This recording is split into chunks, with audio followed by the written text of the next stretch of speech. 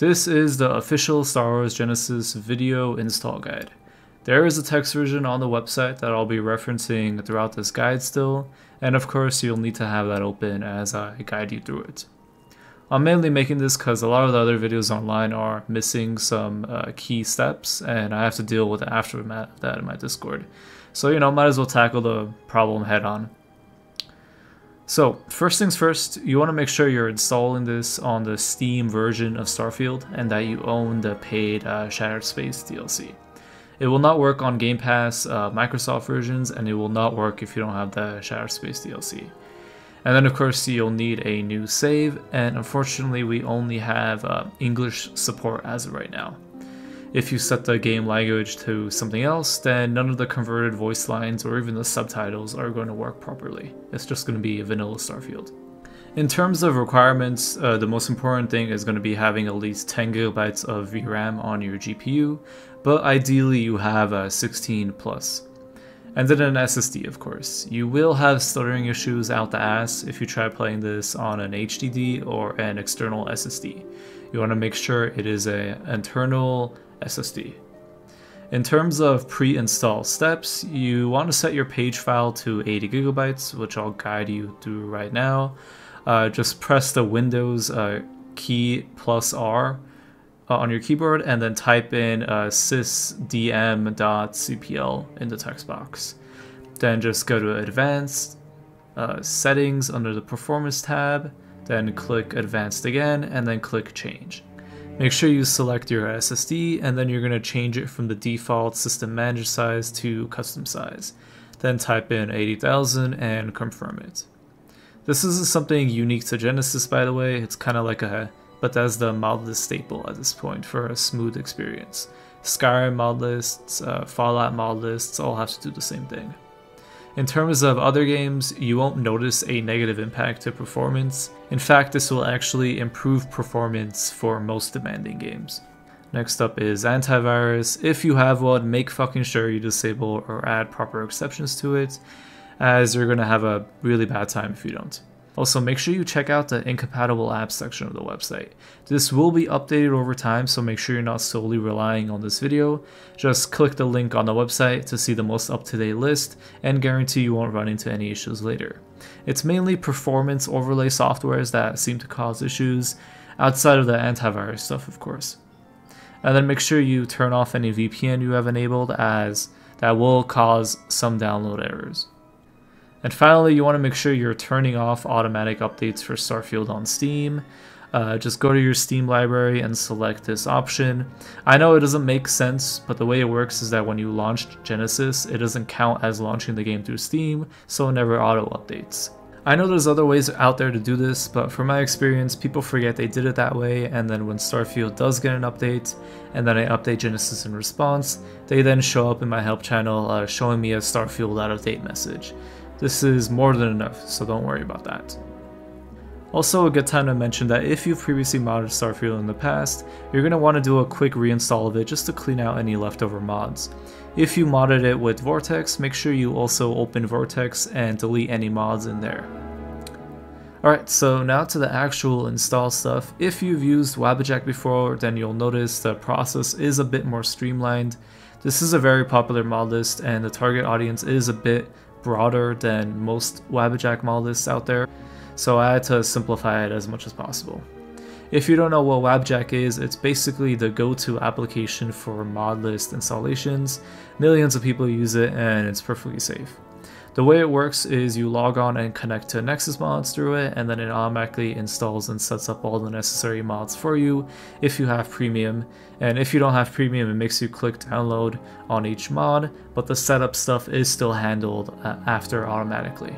Also, as of making this video, Nexus is offering a 3-day free trial for their premium membership, so I recommend just getting that and making sure you cancel it after Genesis is finished installing. Just wanted to mention all that before getting to the actual install part so you save some time. But yeah, let's get started.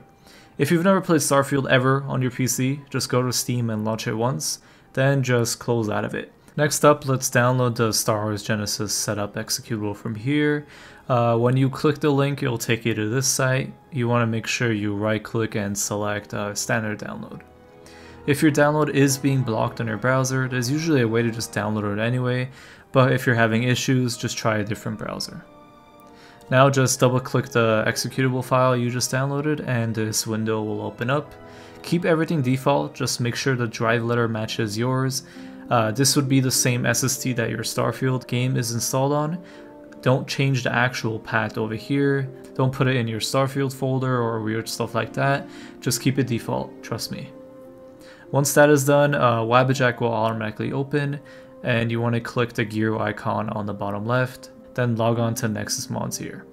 If you're already logged in from another mod list, please just log out and log back in because high chance you've been automatically logged out a long time ago and you're going to get a bunch of errors when you try uh, installing Genesis.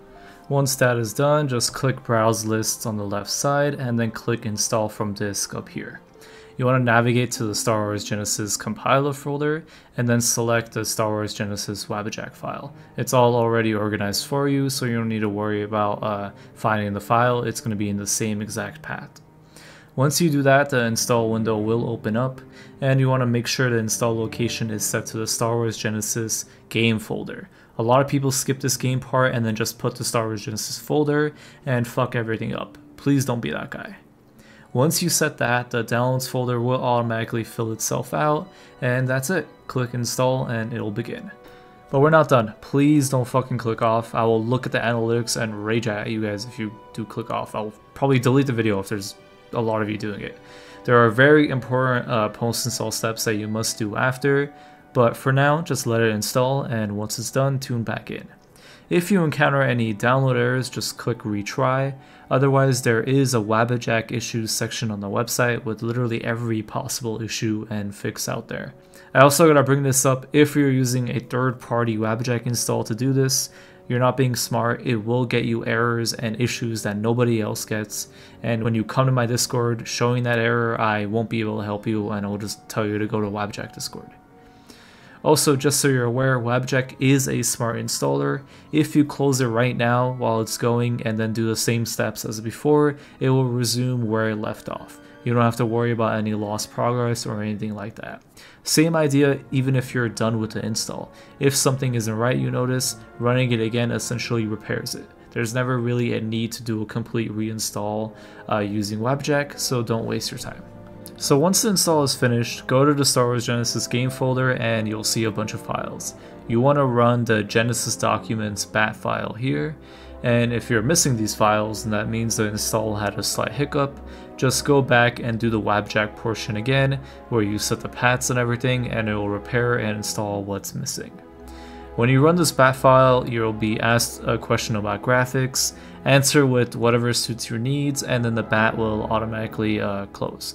If it doesn't automatically close and you get an error, just uh, click the bat doesn't work button on the website and it'll give you instructions on what to do next. After that, launch the mod organizer executable here and you'll get a pop-up just like this. Click yes and you're ready to launch the game. Just go to the top right, select the SFSE option and run it. You'll see the Genesis title screen and everything, just start a new game, select whatever loadout option you want, and then create a character. As soon as you load in, just quickly open a menu like your inventory and you'll get a pop-up like this, giving some context on what's happening and also telling you to save and restart. Just press escape, save, and then fully quit the game and start it up again. You would be loading instead of starting a new save now, and yeah, that's pretty much it. If you're playing on a controller or ultra-wide, there are sections on the website with additional instructions, and if you want to install the HD overhaul, there's a section for that too. Also, depending on your answer when you ran the Genesis documents.bat file, your settings will automatically be configured. There's some stuff you should never turn on though, like VSync, dynamic resolution, and dialog camera, but then there's also uh, DLSS and FrameGen that's off by default, mainly because I'm sick of people that have driver issues crashing when they turn it on and complaining about it.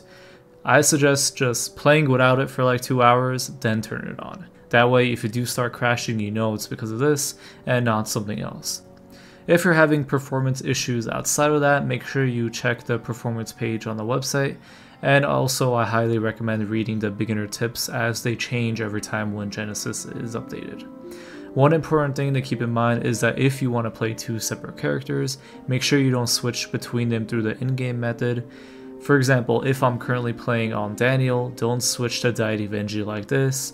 Instead, close your game, relaunch it, and then load into Deity Vengy. Otherwise, you risk breaking a lot of modded uh, NPCs. If you only play on one character, this isn't really an issue that you have to worry about. But also keep in mind the difficulty settings here. Don't rely on the in-game ones as that fucks up a lot of stuff and causes bullet sponges.